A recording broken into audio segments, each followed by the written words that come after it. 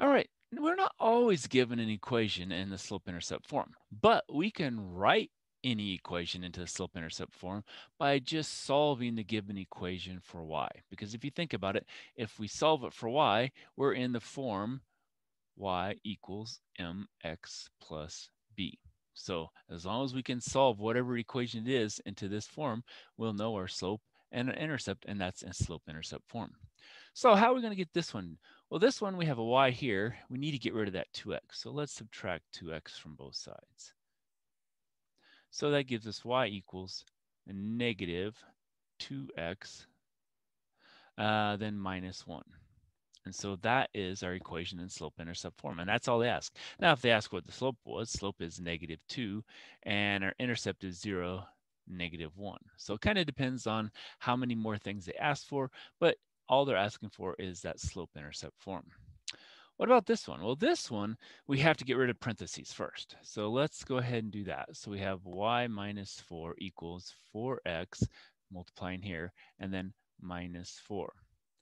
Now we need to get rid of that 4 here because we just want y. So let's add 4. So we get y equals, and it looks like 4x is our solution. That's all it is because the 4's cancel, and so y equals 4x. So our slope is 4. Our intercept is 0, 0 because there's nothing here, and so that would be a 0. So that would be our intercept. All right, so these kind of do the same thing. We have to distribute. And so we'll get y plus 1 equals, now that's going to give us a negative 1 half x. A negative times a negative is positive. Half of 4 is 2. Now we need to get rid of that 1, so we subtract 1. So y equals negative 1 half x. 2 minus 1 is 1. And again, our slope is negative 1 half, and our intercept is 0, 1. This is what they're asking for here as far as the equation goes. But from there, we can get our slope and our intercept. All right, what about here? Well, again, we're going to distribute.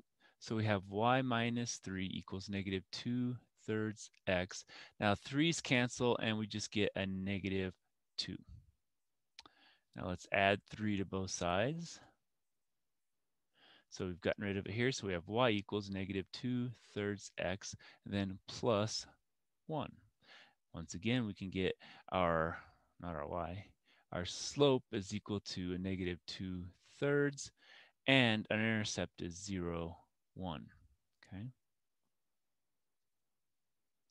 So let's pause there and we'll come back with more.